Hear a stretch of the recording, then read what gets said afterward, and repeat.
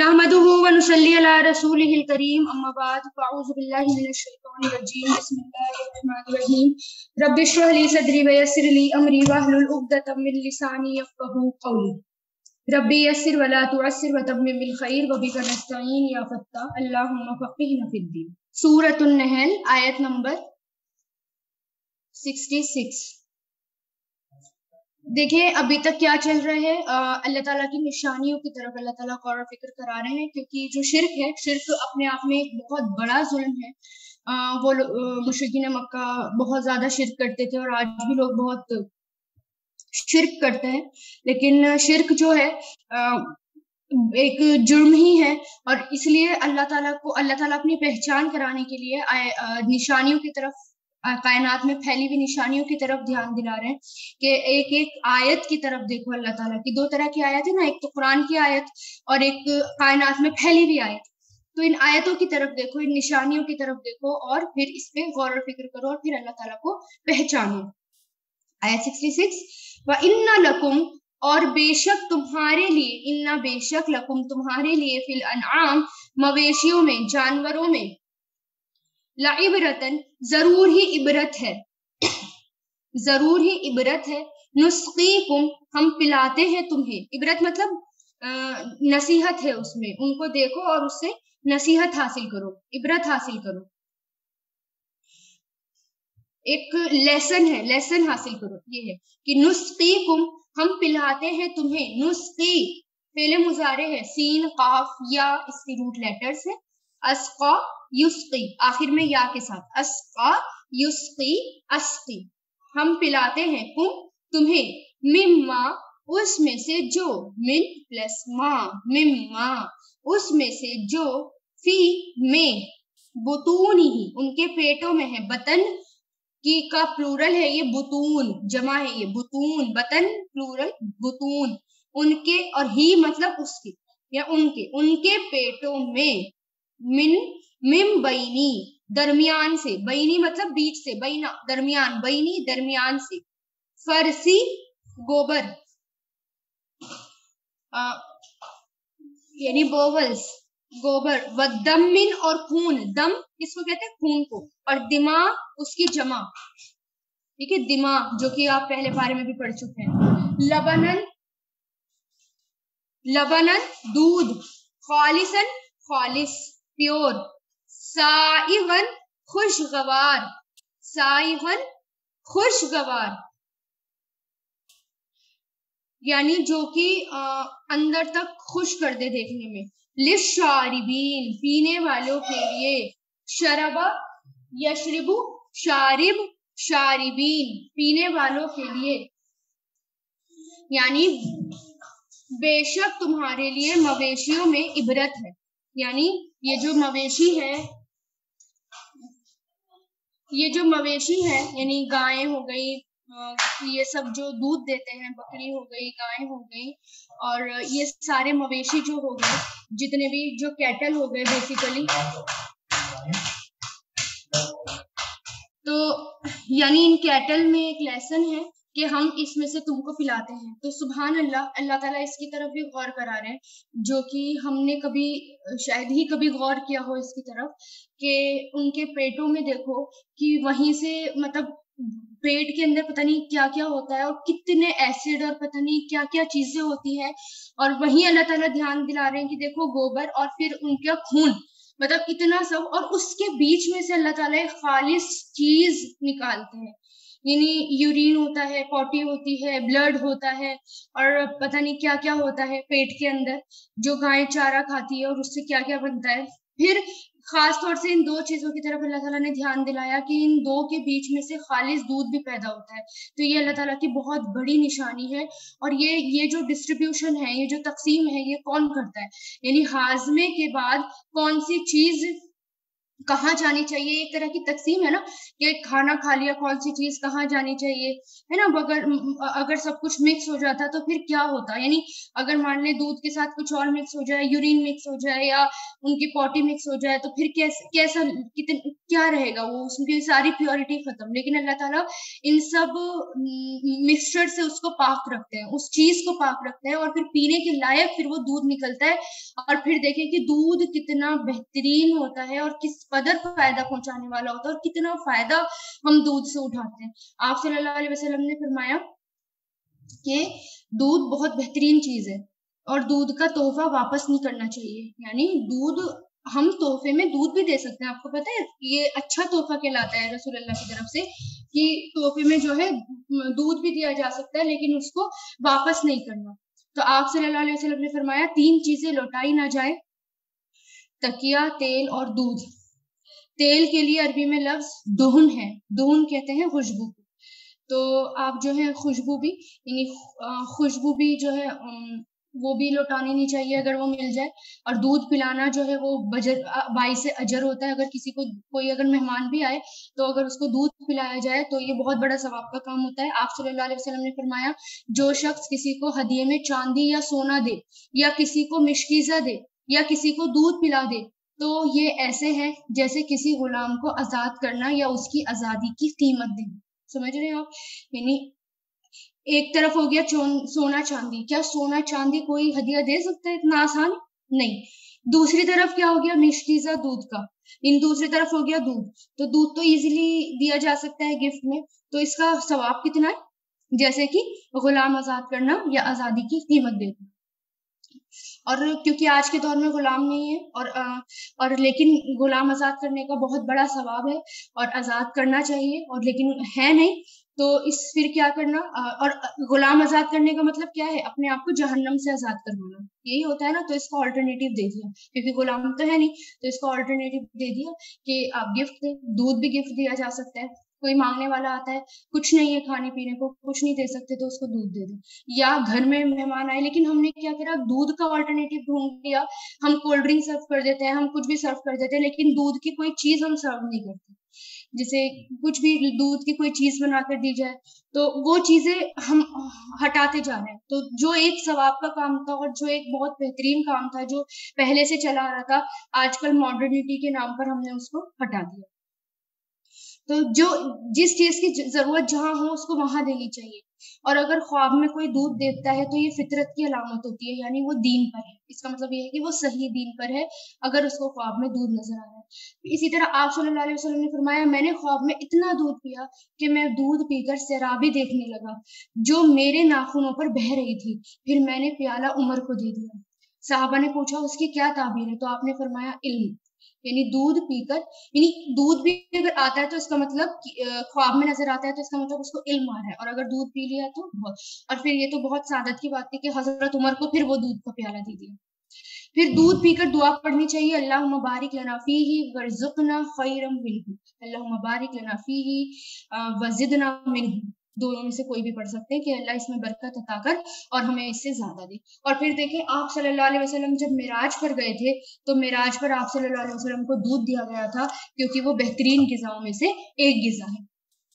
तो इसकी तरफ़ अल्लाह ताला ध्यान दिला रहे हैं कि देखो, दूध की तरफ़ देखो। व मिन व मिन समाराती, और फलों में से, वो मिन समाराती, और फलों में से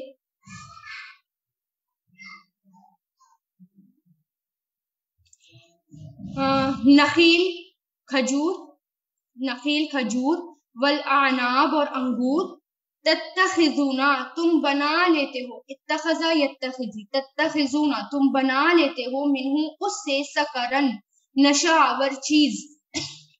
न, सकरन नशावर चीज़। व रिस्कन और रिस्क हसनन अच्छा। इन्ना बेशक फीजा लिका इसमें लायतन ज़रूर ही एक निशानी है।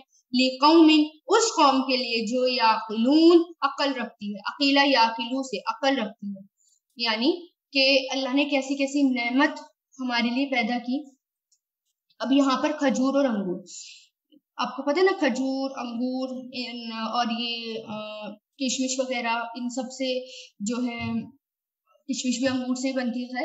ये जो अंगूर वगैरह हो गए इन सबसे शराब बनती है खजूर से भी शराब बनती है नशावर चीज़ें बनती हैं यानी जिस जो जो हमारे लिए खराब होती हैं और आ, उससे नशा आता है और हमारी बॉडी को वो खराब कर देती है। लेकिन वो वही अगर उसको उसकी शराब ना बनाई जाए ड्रिंक ना बनाई जाए तो वो एक अच्छी और पाकिजा चीज़ होती है। तो इसकी तरफ़ भी गौर करो कि एक ही चीज़ है और उसमें से एक चीज़ नापाक है और एक चीज़ हमारे लिए पाक है। एक चीज़ हमारे लिए, हमारी बॉडी के लिए बहुत खराब है। उसी में से एक चीज़ हमारे लिए जो है, हमारी बॉडी के लिए बहुत अच्छी है। तो ये सब किसने किया? और ये सब किसकी कुदरत है? ये सब अल्लाह ताला की कुदरत है कि उसने हमें इतनी पाकिजा चीज़ें दी और जो चीज़ हमारे लिए नुकसानदेह उससे उसने मना कर दिया। है ना? रोज़े में भी ये नेमत है और और भी अच्छी लग रही होती हैं। दूध का ज़िक्र है, फलों का ज़िक्र है, अंगूरों का ज़िक्र है। अल्लाह के खातिर भी अपनी भूख, प्यास कंट्रोल की भी होती है। अल्लाह हमारी बेहतरीन नवाजी करेगा है ना? हौजे कौसर में से भी पानी पिलाएगा सलसबील के चश्मों से भी पानी पिलाएगा अपने हाथ से भी। और देखिए और अल्लाह ताला और फरिश्तों के ज़रिए और ये भी आता है कि वसफा हम रब हम शराबन तुहरन। कि तुम्हारा रब तुम्हें पाकिजा शराब पिलाएगा, यानी पाकिजा चीज़ पिलाएगा। तो ये सब किसके लिए होगा ये? यानी दुनिया में तो हमें ये नेमत दी है, लेकिन आखिरत में भी जो है बहुत बेहतरीन बदला दिया जाएगा। और फिर और इसके अलावा देखें जो पीछे गुजर चुका इसकी तफसीरिया आती है कि दूध के बारे में भी। हज़रत अब्दुल्ला बिन अब्बास फरमाते हैं कि चौपाए जो घास खाते हैं, वो उनके मादा में जमा हो जाता है, यानी उनके पेट में जमा हो जाता है, और वो मादा उसको पकाता रहता है, जिससे गिजा का फैसला नीचे बैठ जाता है, और दूध ऊपर हो जाता है, और दूध के ऊपर खून आ जाता है। फिर जिगर ये काम करता है कि खून को रगों में पहुँचा देता है, और दूध को थनों में पहुँचा देता है, और जो जो फैसला होता है वो गोबर की, यानी जो बचा हुआ होगा या एक्स्ट्रा होगा, वो गोबर की सूरत में बाहर निकल आता है। यानी उस वक्त इसकी तफसीर ये हज़रत अब्दुल्ला बिन अब्बास ने करी। और फिर अब इस आयत में खजूर और अंगूर, और अगर आप ध्यान दें खजूर पर तो खजूर किस कदर फ़ायदेमंद होते हैं? बहुत खजूर से तो अगर कोई दिन में सुबह के वक्त सात अजुआ खजूर खा ले, हदीसों में अजुआ खजूर का ज़िक्र होता है तो उसको पूरे दिन जहर का भी असर नहीं होता। जादू तो दूर की बात, उसको जहर का भी असर नहीं होगा और जादू का भी असर नहीं होता। तो बहुत इंटरनली हमें जो खजूर है, वो ताकत पहुंचाता है। तो रेगुलर खजूर का मामूल होना चाहिए और हमें रेगुलर बेसिस पे खजूर खाने चाहिए। सिर्फ़ हम रमज़ान में ही खाते हैं, लेकिन रेगुलर बेसिस पे उसके ड्रिंक बनाकर पीना और उसको खाना और उसका नबीज बनाकर पीना। ये जो हम सुन्नत से साबित है। तिब में आप जो है, अगर तिब के लेक्चर देखें मेरे तो उसके अंदर ये सब चीज़ें बताई गई हैं और बहुत डिटेल से कि किस किस बीमारी में कौन कौन सी चीज़ें फ़ायदा देती हैं। अंगूर के बारे में या इसके बारे में शहद के बारे में या फिर खजूर के बारे में। तो किस किस कदर फ़ायदा देती हैं? तो इसका मामूल होना चाहिए खाने का। और फिर हार्ट पेशेंट के लिए भी अजवा खजूर बहुत अच्छी बताई जाती है। तो ये क्या है? अल्लाह ताला कह रहे हैं, इन सब पे ध्यान दो। ये अल्लाह की तरफ़ से निशानियाँ हैं। किसके लिए निशानियाँ हैं? जो अकल से काम लेते हैं, यानी जिनके अंदर अकल है और जो अकल रखते हैं, उनके लिए ये निशानियाँ फिर आयत सिक्सटी सेवन सिक्सटी एट व औहा, और हमने वही की। औहा यू ही, हमने वही की रब्बू का किसने वही की? रब्बू का आपके रब ने। इलन नहली, शहद की मक्खी की तरफ़। अन ये के इत्तखिजी दो बना ले मिनल जिबाली पहाड़ों में से। मिनल जिबाली पहाड़ों में से बुयूतन घर। व मिनट शजरी और दरख्तों में से। व मतलब और, मिन मतलब से दरख्त, पेड़ और पेड़ों में से। व मिम्मा और उसमें से जो यारिशून, वो चढ़ाती हैं। यारिशून, आइन, रॉ, शीन इसकी रूट लेटर है, अर्श। अर्श से बना। ठीक है? अरशा यारिशू जो वो चढ़ाती हैं। यानी, अब किसका ज़िक्र आ रहा है यहाँ पर? शहद की मक्खी का। कि शहद की मक्खी को अल्लाह ताला ने किस कदर हुक्म दिया कि वो जो है शहद बनाए। और शहद बहुत पाकिजा चीज़ है इसके, और बहुत फ़ायदेमंद है हमारे लिए। और और उसको हुक्म दिया कि वो पहाड़ों में बनाए या वो पेड़ों में बनाए। ठीक है? क्यों बनाए पहाड़ों और पेड़ों में? और जो चीज़ें ऊपर चढ़ाई जाती हैं उसमें बनाए। क्या कभी ज़मीन पे छत्ता देखा है कि ज़मीन पे बनाया हो? शहद इतनी पाकिजा चीज़ है अल्लाह ताला उसको हर डस्ट से महफूज रखना चाहते थे हर नापाकी से पॉल्यूशन से और बिल्कुल खालिश चीज़ हमें देना चाहते। तो इसलिए शहद की मक्खी को हुक्म दिया कि तुम बहुत ऊपर अपना जो है छत्ता बनाओ। और यानी ये जो है ज़्यादातर, सबसे ज़्यादा छत्ते ये पहाड़ों पे बनाती है और फिर पेड़ों पे बनाती है, लेकिन पेड़ों पे कुछ कम बनाती है। और जो चीज़ें ऊपर चढ़ती है ऊपर ऊपर ये छत्ते बनाती है। सुम्मा, फिर कुली, खा, अकला या कुल कुल, कुली फीमेल के लिए आता है कुली, खा, समारात, फलों की। हर किस्म, मिन कुल्ली समारात, हर किस्म के फलों से। मिन मतलब से कुल्ली, हर और समारात, फल। हर किस्म के फलों से फसलू की फिर चलती रहे। फा मतलब तो उस लुक, उस लुकी तू चलती रहे। अब जहाँ पर ये फेले अम्र आ रहा है ना, आपको लास्ट में या भी दिख रहा है। तो वो फेले अम्र जो है, वो फीमेल की अलामत है। ठीक है इनशाला मैं आपको ये टॉपिक भी लूँगी जल्दी। तो ये फीमेल की है, यानी सीन लाम काफ, इसके रूट लेटर्स हैं सला का यसलू को उसलू तो तू चल, उस लुकी, यानी फीमेल का सीगा फीमेल को हुक्म दिया जा रहा है कि तू चल, सुबुला, रास्तों पर।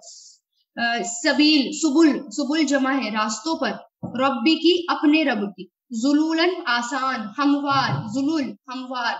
यखरुजू निकलता है, खराजा यखरुजू से। निकलता है, मिन बुतून यहाँ उनके पेटों से। बतन की जमा, बुतून है, उनके पेटों से। शराबुन, शरबत, यानी शहद। शराब क्या है? पीने की चीज़। ये लिक्विड होता है। तो इसको इसलिए क्या कहा? शराब, शरबत, शहद। मुख्तलिफ़ मुख्तलिफ़ है अलग अलग है। अलवान हूँ, उनके रंग। लोन की जमा? अलवान, उसके रंग। फ़ी ही उसमें। शिफा उन शिफा है, लिन्नासी, लोगों के लिए। इन नफिजाली का बेशक इसमें। लायतन ज़रूर ही एक निशानी है। कौमिन, उस कौम के लिए जो ये तफक्करून गौर फ़िक्र करती है। तफक्करा ये तफक्करून से जो गौर फ़िक्र करती है, यानी अल्लाह ताला ने शहद की मक्खी को सिखाया।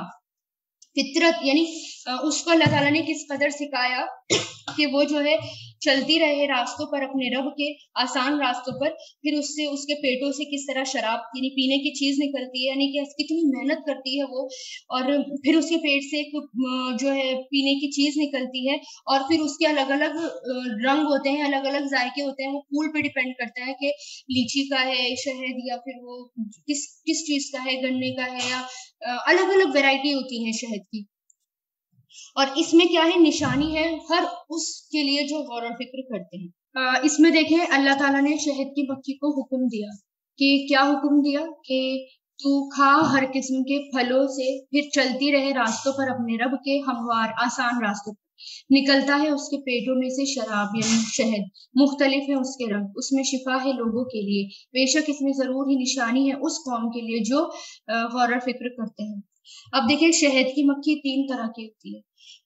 इस, इसको सुनने के बाद आपको वाकई बहुत हैरानी होगी कि वाकई अल्लाह ताला की ज़ात इतनी बुलंद है कि उसने हमारे लिए कैसी कैसी मखलूक रख दी और कैसी कैसी आसानियाँ अल्लाह ताला ने हमारे लिए पैदा कर दी। तो तीन तरह की होती है, मलका मक्खी और नर मक्खी, मादा मक्खी। ठीक है? ड्रोन, क्वीन और वर्कर। ठीक है? ये तीन तरह की मक्खियाँ होती हैं। सबसे इम्पोर्टेंट जो इसमें यानी जो क्वीन होती है, उसको मलका मक्खी कहा जाता है उर्दू में, है ना? और मादा मक्खी, यानी एक नर होती है, यानी एक मेल होती है, एक फीमेल होती है। और जो मादा होती है फीमेल वो वर्कर्स होती हैं। और इन सबके एक अपने अलग अलग सिलेक्टेड काम होते हैं। ये टीम में काम करती हैं और इन, इनका जो है छत्तों में काम करने का बड़ा ज़बरदस्त मैनेजरियल वर्क होता है। मलिका मक्खी सिर्फ़ अंडे देती है यानी जो मलका मक्खी होती है वो सिर्फ़ क्या करती है? अंडे देती है और यही वाहिद रिप्रोडक्टिव फीमेल होती है यानी सिर्फ़ यही अंडे देती है उसके अलावा नहीं देती। और सारी मक्खियाँ इसकी बातें मानती है यानी एक सम, एक तरह से ये क्वीन होती है और सारी मक्खियाँ इसकी बातें मानती है ये टीम की लीडर होती है। और बाकी मक्खियाँ जो है बाढ़ की मक्खियों से ये बड़ी भी होती है यानी देखने में वैसे भी ये बा, बाकी मक्खियों से थोड़ी इसमें फ़र्क होता है। और ये खास किस्म के एक सेल में रहती है। और इसकी खुराक बस एक खास किस्म की जेली होती है इसे रॉयल जेली कहते हैं। इनका आ, मलका मक्खी जो है अंडे देती है और ये उसके अपने डिसीज़न पर होता है कि इस छत्ते में कितने वर्कर्स मक्खियाँ पैदा हों या कितनी नर मक्खियाँ पैदा हों। यानी ये भी जो है इसका भी ये, ये जो है डिसाइड करती है। ठीक है, नर मक्खियों का काम सिर्फ़ मीटिंग मीटिंग का होता है। बस, और कोई काम नहीं होता, जो मेल मक्खियाँ होती हैं, उनका काम मीटिंग का होता है, ये मेट करने के बाद मर जाती हैं। आप जरा ये देखें, हमारे लिए, सिर्फ़ हमारी शहद के लिए और कुर्बानी दे देती है, यानी मेट करने के बाद वो मर जाती है। वर्कर्स मक्खी, इनके बहुत सारे काम होते हैं। ये जो है, छत्ता बनाती हैं, इनको मेंटेन रखती हैं, फूलों को चूसना वगैरह, इसमें डिफरेंट डिफरेंट ग्रुप्स होते हैं। ठीक है? ग्रुप नेक्टर फील बेस कहलाता है। इनका काम नेक्टर पोलन वगैरह जमा करना होता है। फिर हाउस बी बीज जो होती हैं, ये लार्वा और ड्रोन को खाना खिलाती हैं। जो इनके बच्चे होते हैं लार्वा या ड्रोन उनको ये खाना भी खिलाती हैं और छत्ता साफ़ रखती है, उनकी हिफाजत करती हैं, जो नेक्टर पोलन तक पहुंचाते हैं। इनको शहद में बदलती हैं। ज़्यादातर मेजोरिटी फीमेल की होती है जो ये काम करती है। फिर देखिए, शहद की मक्खी, जैसे अल्लाह ताला ने बताया कि शहद की मक्खी छत्ता कहाँ बनाती है? शहद की मक्खी जो है छत्ता कहाँ बनाती है? इनका छत्ता कुदरती कारीगरी का एक बहुत खास नमूना होता है। यानी इनका जो छत्ता है, वो आम नहीं होता, एक कारीगरी का एक नमूना होता है। और पहाड़ों में, दरख्तों में और ये बेलों में, यानी कि जो बेलें ऊपर चढ़ती हैं, वहाँ पर ये छत्ता बनाती हैं और सबसे ज़्यादा ये पहाड़ों में बनाती हैं और सबसे कम ये पेड़ों में बनाती हैं। छत्ता मोम से बनता है, वैक्स से ये छत्ता बनाती हैं। जो मक्खी के पेट में वैक्स ग्लैंड होते हैं उसको ये सीक्रेट करती हैं और फिर वो वैक्स ग्लैंड को मुँह से लेकर छत्ता बनाती हैं। छत्ते में जो सेल यानी छत्ते में जो है रूम्स भी होते हैं और सेल्स होते हैं रूम होते हैं और वो एक खास साइज़ के होते हैं। यानी एक खास शेप होती है उनकी हेक्सोगनल शेप जो यहाँ पर आप शेप देख रहे हैं ना हेक्सोगनल शेप ही इनकी होती है और ये इस इस, इसी शेप में ये छत्ता बनाती है। अच्छा इसकी खास हिकमत होती है। इसकी सिक्स साइड्स होती हैं और ये शेप वो करोड़ों सालों से इस्तेमाल करती आ रही है। यानी अल्लाह ताला ने उनको ये शेप सिखाई है इस्तेमाल, ये ये ये इस शेप में ही वो बनाएँगी और ये कॉलोनी में रहती हैं और ये शहद हनी कॉम यानी सेल से जमा करती हैं। हेक्सोगनल एक वाहिद शेप है जिसमें सबसे ज़्यादा शहद इकट्ठा किया जाता है। यानी इसमें सबसे ज़्यादा शहद आ जाता है। इसलिए वो इस शेप में अपना छत्ता बनाती है। और इसको बनाने में सबसे कम मटेरियल लगता है। मटेरियल भी कम लगता है और शहद भी ज़्यादा जमा होता है। समझ लीजिए छोटे छोटे रूम्स होते हैं इनके छत्ते के अंदर। अगर वो अपना सेल किसी और शेप में बनाती, यानी ये जो सेल्स हैं, अगर ये किसी और शेप में बनाती या सिलेंड्रिकल होता या कोई भी और शेप होती तो उसमें जो है जगह कम रहती है। ज़्यादा जगह लेते हैं, ज़्यादा मटेरियल लगता है और और जो है इधर उधर से खाली भी रह जाता और शहद के लिए जगह ना बचती। ज़्यादा शहद नहीं आ पाता। इसलिए ये हेक्सोगनल शेप में बनाती है। शहद का छत्ता कई सौ मक्खियाँ डिफरेंट डिफरेंट साइज़ से बनाना शुरू करती हैं। ये सौ मक्खियाँ होती हैं और डिफरेंट डिफरेंट साइज़ से बनाना शुरू करती हैं। छत्ता बनाते बनाते वो पोलन पर आकर मिल जाती हैं। ये सेल का एक खास एंगल होता है, यानी एक पोलन पे आकर मिल जाती है, वो एक खास एंगल होता है। और ये थर्टीन डिग्री के एंगल पर बनाए जाते हैं। इससे शहद, इससे जो है शहद भी बाहर नहीं गिरता। यानी ये खास इसमें जो है ना शहद भी नहीं, यानी जो इनका बनाने का तरीका होता है बाहर, क्योंकि इतनी ऊपर ऊपर शहद होता है, कभी आपने देखा कि आपके ऊपर शहद गिर रहा हो? गिरता भी नहीं है शहद बाहर। और ये ज़बरदस्त आर्किटेक्चर है। इसमें कोई तेड़ नहीं होगी, आपको कोई गलत डिज़ाइन नहीं मिलेगा। एक भी छत्ते में, कभी देखा हो छत्ते को तोड़कर, कोई गलत डिज़ाइन इसके अंदर नहीं मिलता। ये काम जो है वो मुकम्मल अंधेरे में करती है, यानी जो इनके छत्ते के अंदर मुकम्मल अंधेरा होता है, उसके अंदर ये काम करती है। और ये पैदा होते ही अपना काम शुरू कर देती है। कौन सिखाता है इनको ये काम?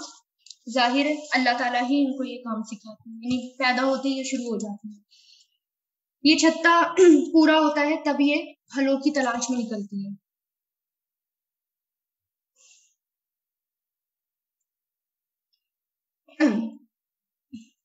तो जब ये छत्ता पूरा होता है तो फलों की तलाश में निकलती है। ये फूलों से नेक्टर यानी जूस को जमा करती हैं और चार पाँच किलोमीटर का ये सफ़र करती हैं। और यानी इनके बारे में और भी आता है कि ये जो है कई हज़ार मील पर ये उड़ती हैं और ये चार पाँच किलोमीटर का सफ़र करती हैं और उसी रास्ते पर से वापस आती हैं जिस रास्ते से गई होती हैं। इन खास बात ये है, उसी रास्ते पर ये जो है उसी रास्ते से आती हैं।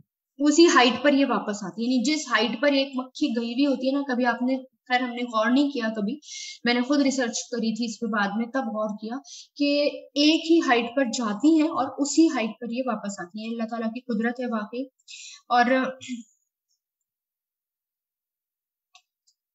और जैसे ही उनको उनकी खुराक का पता चलता है आ, किसी की तो ये वापस आती हैं और वापस आकर ये दूसरी मक्खियों को बताती हैं।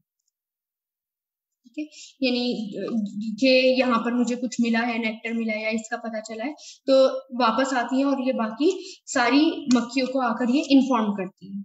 और जब ये वापस आती है तो खास एक जिग जैग की डिज़ाइन बनाती है और ये फिगर एट बनाती भी आती है। इनका एक खास बात है कि फिगर एट भी बनाती है और इसका रिलेशन सन से होता है और बाकी मक्खियाँ फ़ौरन पता लगा लेती हैं कि फ़ूड सोर्स कहाँ पर है। यानी इतना इनका एंगल होता है, इतना खास इनका एक तरीका होता है। पता नहीं कैसे बाकी ये हैरानी वाली बात है कि फ़ौरन मक्खियाँ, उनको फ़ूड सोर्स का पता भी चल जाता है बाकी मक्खियों को। उसके सिर्फ़ खास एंगल के आने जाने की वजह से। इनको जगह के साथ साथ डिस्टेंस का भी पता चल जाता है। और अगर 250 किलोमीटर पर है तो एक खास बॉडी मूवमेंट होगा। जब एक मक्खी किसी फूल का नेक्टर लेती है तो वो बाकी मक्खियों को टाइम एनर्जी बाकी मक्खियों की टाइम एनर्जी बचाने के लिए एक ड्रॉप वहाँ पर छोड़ है। यानी अगर किसी मक्खी ने एक फूल से नेक्टर ले लिया, उसका जूस चूस लिया तो वो एक ड्रॉप छोड़ देती है वहाँ पर। क्यों छोड़ देती है ड्रॉप ताकि बाकी मक्खियों का जो टाइम है ना, वो वेस्ट ना हो। बाकी मक्खियाँ जो है समझ जाती है कि उसको देख करके अब यहाँ यहाँ पर कोई फ़ायदा नहीं है, यहाँ से जूस लेने और फिर जब दूसरी मक्खी वहाँ पहुँचती है तो उसे फ़ौरन पता चल जाता है कि यहाँ वक्त जाया ना करे और आगे बढ़ जाए। और कोई इंटर और कोई इंसेक्टिसाइड या स्प्रे होता होता है अगर यानी कोई भी आ, कोई स्प्रे क्योंकि कीड़े मकोड़ों से बचाने के लिए स्प्रे डालते हैं ना तो अगर कोई स्प्रे होता है तो उस फूल पर तो शहद की मक्खी वापस छत्ते में उस इन्फेक्शन को लेकर नहीं जाती बल्कि वही मर जाती है और दूसरी मक्खियों को भी बचा लेती यानी इतनी ज़्यादा अपने दूसरों के लिए वो खैरफा होती है। अगर उसे पता चल जाए कि मैंने इन्फेक्शन ले लिया तो वो छत्ते में नहीं जाएगी वापस, ताकि शहद भी ना खराब हो और दूसरे को भी मेरे से इन्फेक्शन ना हो। वही मर जाएगी बात। शहद की मक्खी का क्रॉस पॉलिनेशन में भी बहुत बड़ा किरदार होता है और पोलन इनकी पिछली टांगों में जमा होता है। एक दफ़ा ये बीज एक ही टाइप के फूल से पोलन जमा करती हैं। और कहा जाता है अमेरिका की वन फोर्थ ऑफ़ ऑल फ़सलें वो शहद की मक्खी के क्रॉस पॉलिनेशन पर डिपेंड करती है। यानी वन मिलियन डॉलर की फ़सलों को का दारो मदार इन मक्खियों पर होता है अमेरिका में। अब शहद बन गया। छत्ते में वो इस तरह इकट्ठा होता है कि हनी प्योर रहे छत्ते में अस्सी हज़ार तक मक्खियाँ होती हैं जो मुकम्मल इनकी हिफाजत करती हैं। और हत्या के जब वो छत्ते में दाखिल हो जाती हैं हाँ, तो मलका मक्खी दरवाजे पर खड़ी हो जाती है। और एक एक करके वो आती जाती रहती है। यानी ऐसी नहीं है कि सारी मक्खियाँ एक ही बार में छत्ते में चली गई एक एक करके आती जाती रहती है। आपने देखा होगा वो छत्ते के बाहर रहती है है ना? जरा सा छेड़ो तो उड़ के। तो एक एक करके अंदर जाती है वो।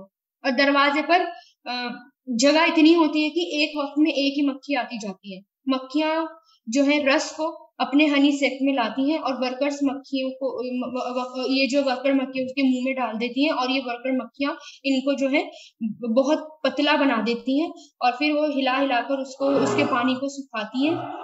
अगर ये जो है पक, आ, पतला होता है ना तो हिला हिलाकर इसके पानी को सुखाती है और वो उसके जो अंदर उन्होंने सेल्स बनाए हुए होते हैं उस सेल में इसको जमा कर देती है। और फिर ये वैक्स से फिर उसको बंद कर देती हैं। और इससे हनी सालों साल खराब नहीं होता। यानी साला साल हनी जो है वो खराब नहीं होता। आपने देखा होगा कितने साल साल छत्ते रहते हैं। शहद को खराब करने से रोकने के लिए ज़रूरी है कि ह्यूमिडिटी का एक खास टेम्परेचर से ज़्यादा ना बढ़े। यानी ह्यूमिडिटी हो तो एक खास टेम्परेचर से ज़्यादा ना हो। वो 35 डिग्री तक ही रहना चाहिए। इस काम की ज़िम्मेदारी हाउस उनका भी एक खास हाउस वर्कर की एक ग्रुप होता है। यानी एक खास ग्रुप होता है, वो भी इसकी ज़िम्मेदारी लेते हैं कि अगर ह्यूमिडिटी को बढ़ने नहीं देते ताकि उससे शहद खराब ना हो। और अपने परों से हवा दे देकर एक खास वेंटिलेशन करते हैं। ये रोल उनका तब होता है जब नर्सरी से जो है यानी बच्चे, जब उसके अंदर खास बच्चे होते हैं ना, तब ये ज़्यादा काम करती हैं। और उनके करीब ये मक्खियाँ जमा हो जाती हैं और वो उन्हें गर्मी देती हैं एक ग्रुप छत्ते को, के हेल्थ को मेंटेन रखता है। अगर छत्ते में कोई बाहर की कीड़े वगैरह पहुँच जाते हैं तो वो उस पर हमला करके उसको मार देते हैं और बाहर फेंक देते हैं। बड़ी साइज़ की चीज़ को वो जो है, अपने अंदर लपेट लेते हैं एम्बल्म कर लेते हैं और इसके लिए वो खास तरह का मटेरियल इस्तेमाल करती हैं। एक खास तरह का मटेरियल इसके लिए वो इस्तेमाल करती है। और इसका मटेरियल का मकसद वैसे तो ये होता है कि छत्ते में जो भी क्रैक हो जाते हैं ना, उसको रिपेयर करें। यानी जो उनके पास मटेरियल होता है, ताकि जो अगर छत्ते में जरा भी क्रैक हो जाए, शहद बाहर ना आए तो वो उसको बंद कर देती है, उसको ठीक कर देती है रिपेयर कर देती है। लेकिन जब बाहर से कोई कीड़ा मकोड़ा आता है, शहद खराब ना हो तो उस पर भी इससे हमला करती है, उसको लपेट देती है। तो उस मटेरियल से कीड़े भी एम्बम हो एम्बम हो जाते हैं, यानी लपेट जाते हैं, ताकि छत्ते में कोई नुकसान ना पहुँचे। मतलब एक खास केमिस्ट्री है इनकी। इन, इनको केमिस्ट्री का खास इल्म है। शहद की मक्खी एक पाउंड शहद जमा करने के लिए फिफ्टी फाइव थाउज़ेंड मील तक उड़ती है। यानी इतना ज़्यादा, यानी एक पाउंड वन लैब जमा करने के लिए वो जो है खास उड़ती है। और टू मिलियन फूलों का रस चूसती है। और ज़िंदगी भर में एक शहद की मक्खी, एक चाय के चम्मच का बारवा हिस्सा शहद बनाती है। ये हैरान करने वाली बात है। हम उस शहद को जरा में जाया कर देते हैं या थोड़ा बहुत शहद जो हमारा साइड्स में लगा रह जाता है ना तो इधर उधर लगा रह जाता है। तो वो पूरी मतलब पता नहीं कितनी मक्खियों की ज़िंदगी का होता है, पूरी ज़िंदगी का वो शहद होता है। एक छत्ते में जो शहद बनता है, वो उसकी ज़रूरत से कई गुना ज़्यादा होता है। हनी और लोगों के लिए फिर क्या होता है? वो शिफा होता है।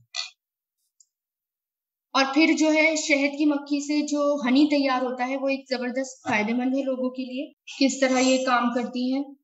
और फिर ये शहद जमा होता है हमारे लिए, और शहद जो है इस फ़ायदा देता है। और इसमें सारे फ़ायदे इसके लिखे हुए हैं।